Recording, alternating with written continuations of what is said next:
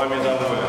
Хочу сказать, что приложу все силы для того, чтобы вы и дальше проявляли свои творческие